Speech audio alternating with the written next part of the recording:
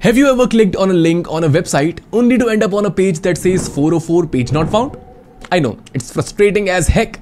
Comparing with the real life scenario, it's like driving to your favorite coffee shop and finding out it's not there anymore. Exactly just like that, the 404 error isn't just annoying, it can really confuse your visitors, impact your site's SEO, and frankly interrupt your workflow as a creator.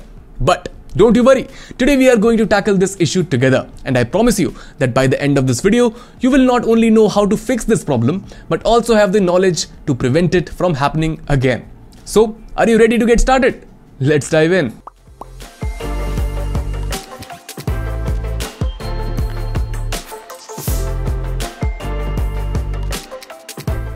Okay, now before we fix anything, let's understand what a 404 error actually is. Simply put, a 404 error means that the page you are trying to visit doesn't exist at the URL you entered. But why would that even happen in the first place? Well, there are a few common culprits here. First, maybe you updated your permalink structure in WordPress and it broke something. Second, you moved or deleted a page but forgot to redirect it.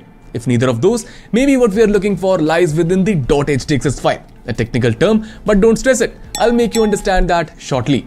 And in the end, in case nothing works, the issue could even be a server related problem. You see, reasons could be many, but the good news is all of these are fixable and I'll guide you through each one of them step by step. So let's get started with the most common fix that is resetting your permalinks. Let me tell you that this method is a super simple one and often works like a charm. For that, here's what you need to do. Log into your WordPress dashboard, head over to the settings menu and click on permalinks. Now here, you don't need to change anything. All you have to do is just click on the save changes button at the bottom. What this will basically do is refresh your permalink structure, which in most cases will solve your 404 errors. Once you've done that, simply get back to the page that showed the error and try accessing it again. If it works, amazing, problem solved. If not, don't you worry, we're just getting started. If resetting the permalinks didn't do the trick, the next step is to check your .htaccess file. Now, this as said might sound technical, but stick with me, it's actually not that bad. The .htaccess file is like a set of instructions for your server telling it how to handle URLs.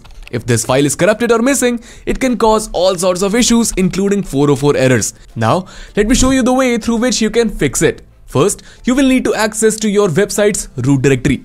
You can do this through an FTP client like FileZilla or via your hosting control panel. Once you're in, look for a file named .htaccess. If you don't see it, check your setting twice to make sure hidden files are visible. Now, before we make any changes into it, download a backup of this file to your computer because it's always better to be safe than sorry, right? Next, open the file in a text editor and replace all of its content with the default WordPress htaccess code. Can find this code on WordPress's official site or in the description below of this video. At present, I'll simply copy the code from here and paste it in here. Set. Now, once you will come back in FileZilla and click yes, the job will be done. Moving further, now in case you are still one of those users who is not able to find their .htaccess file as it's missing altogether, don't worry, just create a new one like this, paste in the code, come back, and that's done as well. Same thing. Okay, so maybe the page you're trying to access has been moved or deleted. In that case, the solution here is to set up redirects. Think of it like forwarding your mail after moving to a new address. Redirects ensure that visitors trying to access the old URL are automatically sent to the correct page.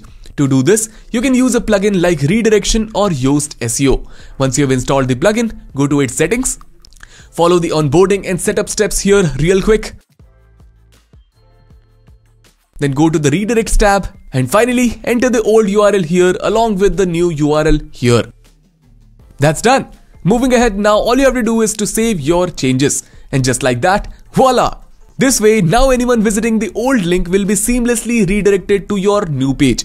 Now tell me, isn't this a great way to not only fix 404 errors but also improve the user experience onto your site? Alright, if none of the above solutions I just shared work, it might be the time to call in some reinforcements. Yes, I'm talking about your hosting provider because sometimes the issue really isn't with the WordPress at all, but it's the server settings which is causing this problem. And that, my friend, is managed by your hosting provider. They can check for things like server misconfigurations, file permission issues, or caching problems that might be in most cases from their side would have been causing the error. So don't hesitate to reach out as their support team will be available for your help anytime. Okay, now that we have fixed the problem, let's make sure it doesn't happen again because prevention is always better than cure, right? So, for that, start by regularly testing your site for broken links. You can use tools like Google Search Console or Broken Link Checker for this. Also, whenever you delete or move a page, set up a redirect immediately. And yes, finally keep your WordPress core, plugins, and themes up to date to minimize compatibility issues. Because by staying proactive like this, you can avoid most of the 404 errors and keep your website running smoothly.